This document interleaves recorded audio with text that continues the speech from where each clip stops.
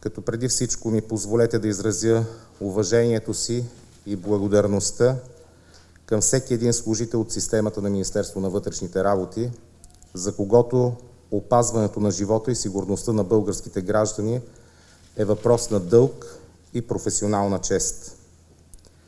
Вашата професия е сред онези, в които нямаш право на грешка, защото дори и в дребна неточност или неоглеждане може да постави в риск живота и здравето на много хора. Вашият професионализъм и лична амбиция да изпълнявате отговорностите си възможно по най-добрия начин има пряко отражение върху ежедневието на всеки един от нас. Не винаги оценяваме ситуациите, обикновенно и усилията ви, обикновено забелязваме пропуските. Затова съм тук пред вас, за да ви изкажа благодарността си за всички ситуации, които са имали добър изход в резултат на вашата навременна и адекватна намеса. Разчитам на вас и за всички следващи ситуации, в които органите на реда и сигурността ще бъдат на своя пост. Очаквам от вас тази моя благодарност да стигне до всеки един служител в системата на Министерство на вътрешните работи, без значение на каква позиция се намира.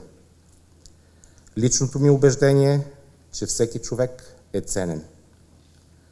Ще използвам случая, за да споделя с вас, че всяко съобщение за катастрофа на пътя, която е отнела за пореден път човешки живот и е причинила страдания и мъка, ме изпълва с гняв. Защото съм убеден, че на войната на пътя може да се сложи край. Финалът зависи от всеки един от нас. Не се намираме от двете страни на магистралите в България, защото сме, заедно сме в това безумие. Настоявам да бъдем нетърпими към всеки, който не спазва правилата за движение и застрашава с поведението си човешки живот. Направете възможното и невъзможното, за да овладеем войната по пътища на страната. Уверявам ви, че може да разчитате на пълната подкрепа на правителството и моята лична като министър-председател. Разбира се, непосредствена задача, чието изпълнение очаква от нас обществото е подготовката и провеждането на честни и свободни избори.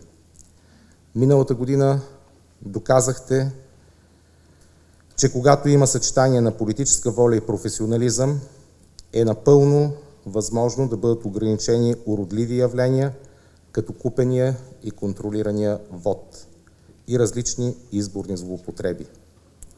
Тук отново вие сте на първа линия, но искам да знаете, че не сте сами.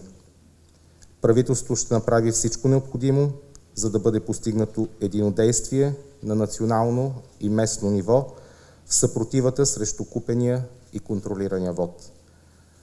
Благодаря ви за волята и категоричността, с която отстоявате закона. Благодаря.